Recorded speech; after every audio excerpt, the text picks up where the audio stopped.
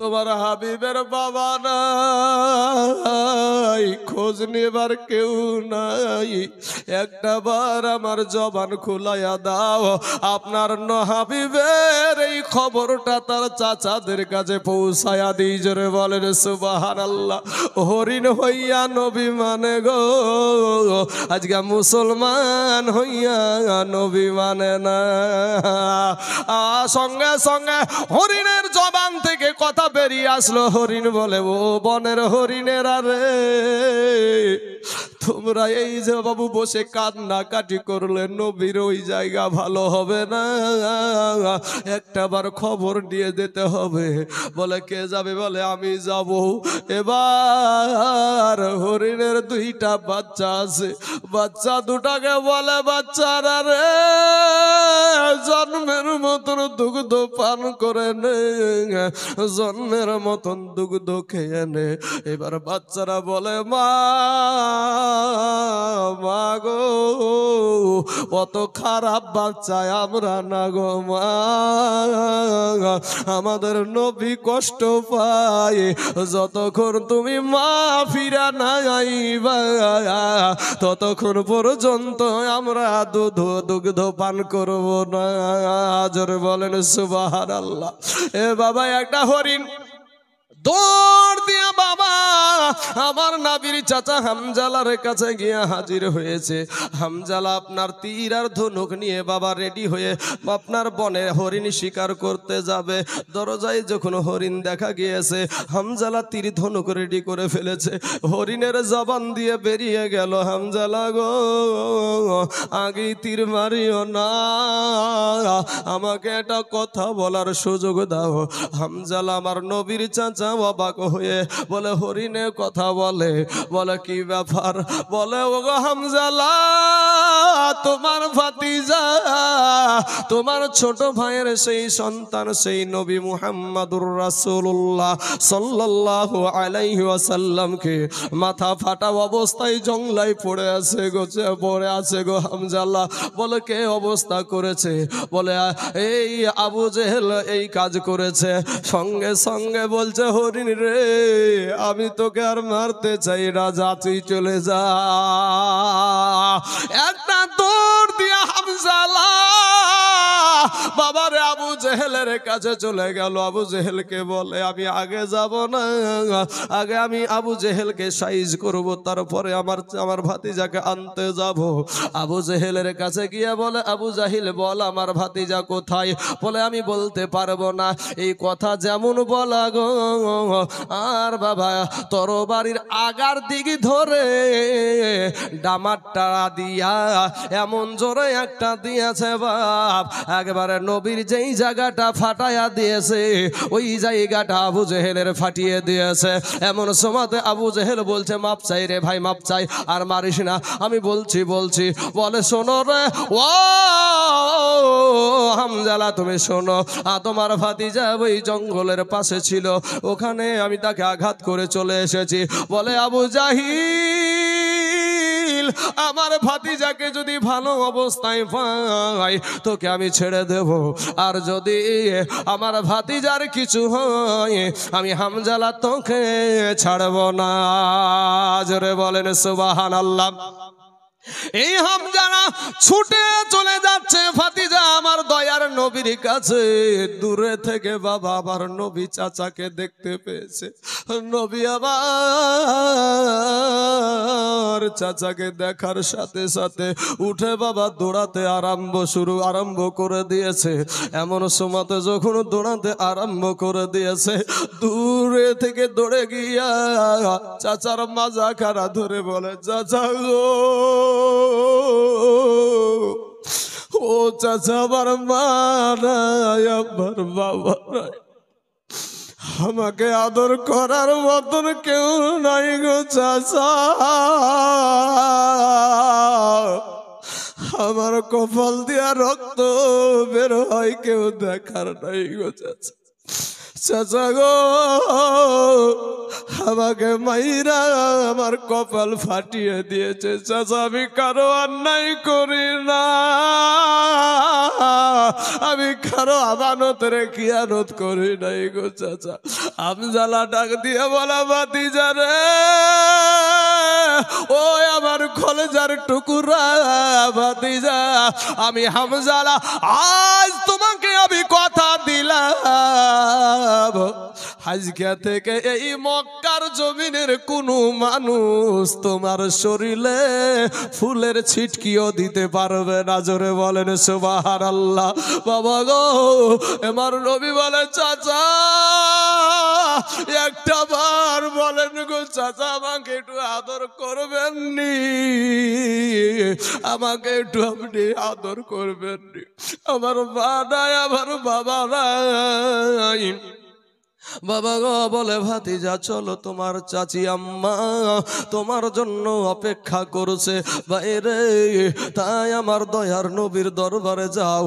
ভাই নবীর দরবারে গিয়ে দেখো, হাজি সাহেবকে জিজ্ঞাসা করো, হাজি সাহেব, একটা বার বলেন গো, নবীর রওজা কেমন লাগে? হাজি বলবে, এই বাহাবিলেরা থাকে রামা যায় কবু তোর তার ঠোঁট লাগিয়া, গুম্বুজ চুমা খায়। বাইরে আমি তাই জুল কপাল পুরা আমি তাই জুল কপাল পুরা ও সেই না বীরে দেখিলাম না যে থাই আমার শাহে মদিনা ভাইরে হিজিরতের পাহাড়ে মাকড়ো সাহায়, কবু তোর তার এ হিজরতের পাহাড়ে মাকড়ো সাহায়, কবু তোর তার ডিম পাহাড়িয়া বসিল সে থায় না বিরদুয়াই কবু হাজিরা খাওয়াই খানা। জোরে বলে সুবহানাল্লাহ। সুবহানাল্লাহ। যে থায় আমার শাহে মাদিনা আল্লাহুম্মা সাল্লি।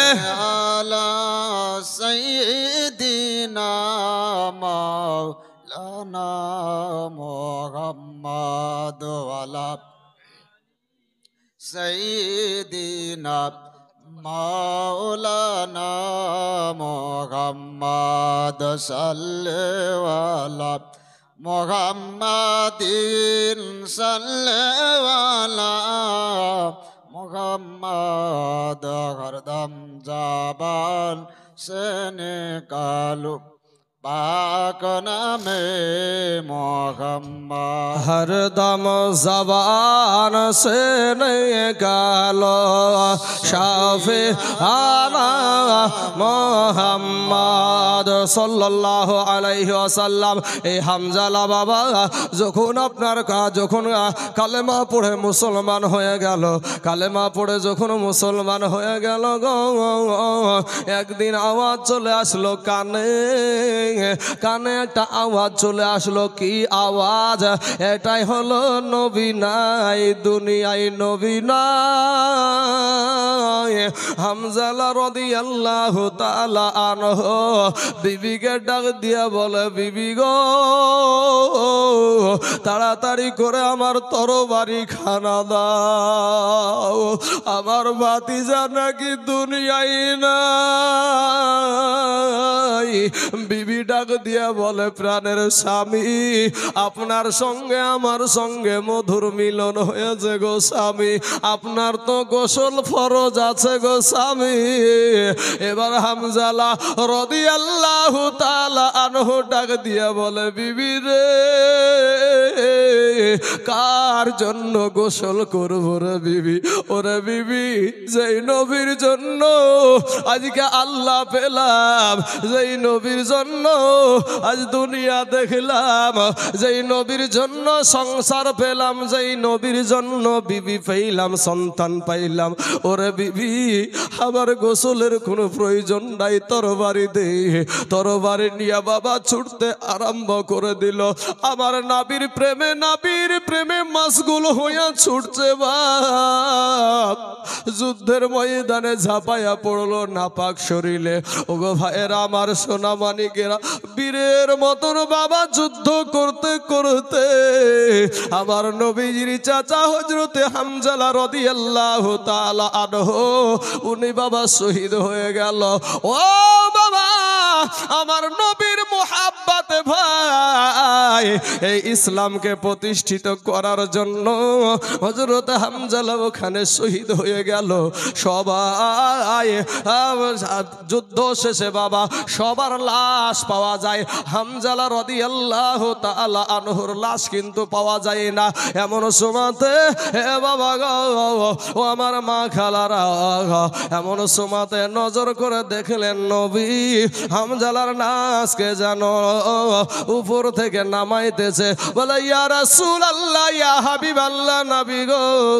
একবার উপরে তাকায়া দেখেন, দেখে হামজালা, গোসল অবস্থায় বাবা জমিনে নামায়া দেয়া হয়েছে। এমন সুমাতে বলে গোসলকে দিল? বলে, ওগো নবী আপনার এই সাহাবি এই অবস্থায় এসেছিল। দুনিয়ার কোনো গোসল দিয়া তার পানি হয় নাই। আমার আল্লাহ পাক তাকে জান্নাতি পানি দিয়া তার ফরজ গোসল বানায়া দিয়েছে। জোরে বলেন সুবাহান আল্লাহ এ আমার মুসলমান বাবাজির, আমার ভাই জানেরা সারা দুনিয়া চাইছে রে বাবা। মসজিদ ভেঙে দাও, মাদ্রাসা ভেঙে দাও। সারা দুনিয়া চাইছে মসজিদ ভেঙে দাও, মাদ্রাসা ভেঙে দাও, কোরআন পুড়িয়ে দাও। আমরা জানি রে ভাই, এ যুবকেরা তোমরা শুনে নাও, আমরা যে হাজার দুয়ারি দেখতে যাই, ওইখানে একটা কাটরা মসজিদ আছে আছে না নাই বাবা? এই কাটরা মসজিদে কত মুসলমান নামাজ পড়তে গেল। ওই মুসলমানের রক্ততে ওই নদী লাল হয়ে গিয়েছিল। ইতিহাস সাক্ষী আছে রে বাবা। ও সোনা মানিকেরা, তারা আপনার মসজিদ ভেঙে দেয় বুলডোজার দিয়ে। তারা মসজিদ, মাদ্রাসা, মাজার শরীফ আপনার বুলডোজার দিয়ে ভেঙে দেয়। আর মুসলমানদেরকে আল্লাহ এত বাবা শক্তি দিয়েছে তারা। আরও গড়ে দেয়, একটা ভাঙলে দশটা বানায়া দেয়। জোরে বলেন সুবাহান আল্লাহ ও বাবা গো আজ আমার নবীর জন্য ওই অবস্থায় গিয়া বাবা শহীদ হয়ে গেল। আমি আপনাদেরকে বলি বাবা, আমি আপনাদের একজন, সুপরিচিত একজন আপনাদের ভাই। আপনাদের দেশে এসেছি বাবা, আপনাদেরকে বলি বাবা গো, এটা একটা মহিলা মাদ্রাসা রে বাবা। এই মহিলা মাদ্রাসায়, এই মহিলা মাদ্রাসায় দেড়শো বাচ্চাকে তিন বেলা খাবার দেওয়া হয়। হায় রে দুঃখ রে ভাই। আমি তাইজুল ইসলাম যখন এই মাদ্রাসায় আসি গো, এই মাদ্রাসায় যখন আমাকে খাবার দেওয়া হয়, আমি তাইজুল খাবারটা খেতে পারি না। যখন আমার পড়ার জীবন ছিল, বাবা, বেলডাঙ্গার জমিনে যখন আমি পড়াশোনা করতাম, বাবা গো, পুকালা চালের ভাত খেয়ে পড়াশোনা করেছি। আজ কত জোনা কত কথা বলো রে ভাই, পুকালা চাল ভাতের ভিতরে পুকা পাওয়া যেত। এই কষ্ট করে বাবা একজন আলেম হয়, একজন হাত পে হাফেজ হয়। তিনশো বাচ্চা ছিল ওই মাদ্রাসায়। তিনশো বাচ্চার চাল কি ঝাড়া সম্ভব হবে ভাই? সম্ভব হবে না। সব শুদ্ধে নিয়ে গিয়ে আপনার ঢালায়া দিত। ওই খাবার খেয়ে বাবা পড়াশোনা করেছি। কিন্তু আল্লাহ পাক এখন অনেক খাবার দিয়েছে। খাবার কোন খাওয়া শেষ করতেও পারি না, খেয়ে শেষ করতে পারি না। কিন্তু ওই বাবু আপনার কন্যা, আপনার মেয়ের মতন মেয়েটা আপনার এই মাদ্রাসায় পড়ে গো। ও সাহেব রামপুর বাসীরা আমাদের ওই মেয়েগুলার দিকে একটু নজর রেখে, এই মাদ্রাসাটার দিকে একটু নজর রেখে, আমি আপনাদেরকে বলতে চাই, বাপ, আমি দশটা মানুষ আজকে দেখব, বাবা, পাঁচটা করে হাজার টাকা, আর দুইজন ব্যক্তি দেখতে চাই দশ হাজার। ইনশাল্লাহ, সারা দুনিয়া চাইছে মসজিদ ভেঙে দাও, মাদ্রাসা ভেঙে দাও। ভাইরে, দুঃখের কথা কি বলব? একদিন জালসা করে এসেছি মাদ্রাসায়। আসার পরে একটা মাদ্রাসা কিন্তু ছুটি দিয়ে দিয়েছে। রায়হান ভাইয়েরা সব সময় থাকে, বাবা। একটা মেয়ে বাইরে গেটের কাছে অপেক্ষা করে আর চোখ দিয়ে পানি ছেড়ে দিয়েছে। আমি তাই জুলটাকে দিয়ে বললাম, বিটি রে, ও বিটি, তুমি কেন এখানে দাঁড়িয়ে দাঁড়িয়ে কাঁদছো বলে হুজুর? হুজুর গো, আমার মা নাই, আমার বাবা নাই। যতক্ষণে আমার দাদা দাদি আসবে, ততক্ষণে বাড়ি যেতে পারব।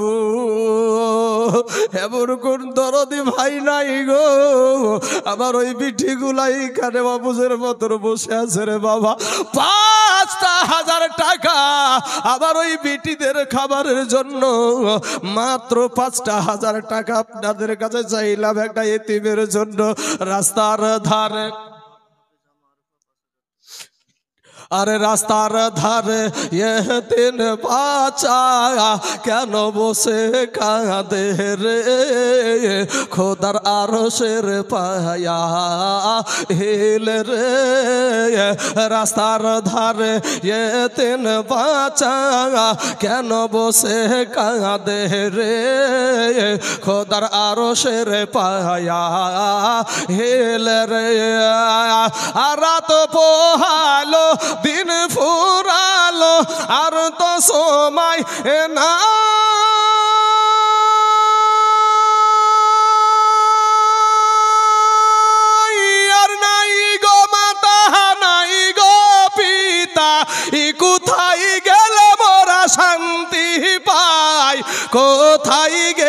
মোরা শান্তি পাই এমন কোন আল্লাহর বান্দা নাই গো, যে ইনশাল্লাহ আমি পাঁচ হাজার টাকা দেবো এই বাচ্চাগুলোর জন্য। এ মুসলমান ভাইয়েরা, এটা একটা মহিলা মাদ্রাসা, এটা একটা আমার মায়েদের মাদ্রাসা, এটা আমার সেই এতিমদের মাদ্রাসা। ভাই, যারা এতিম বাচ্চা, তাদের কাছে আমরাও ভর্তি ফি নিই না, তাদের কোনো খরচ নিই না। তো এমন কোন আল্লাহর বান্দা নাই যে মাত্র পাঁচটা হাজার টাকা এই মহিলা মাদ্রাসার জন্য। সুভান আল্লাহ গরম ওরে মায়ের কাঁদন হে জগৎ জীব এ দুই চার মাস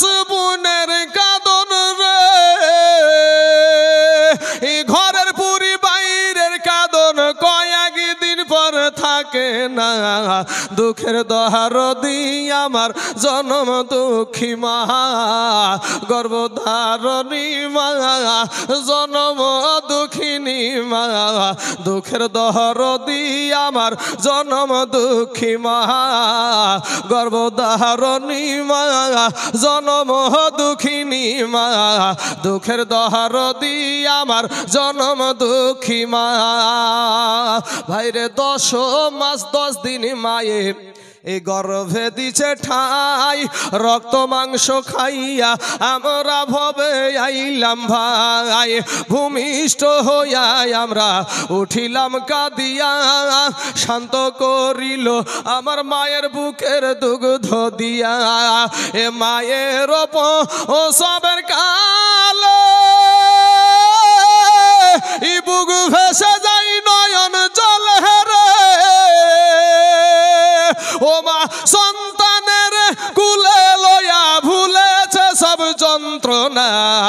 দুঃখের দহার দি আমার জন্ম দুঃখী মা। জন গর্ভধারণী মা, জন্ম দুঃখিনী মা। দুঃখের দহর দি আমার জন্ম দুঃখী মা। বাবাজি আমার সোনা মানিকেরা, আমার ভাই জানের গো, এমন কোন আল্লাহর বান্দা নাই গো, যে ইনশাল্লাহ আমি পাঁচ হাজার টাকা দেওয়ার মতন কোনো আল্লাহর বান্দা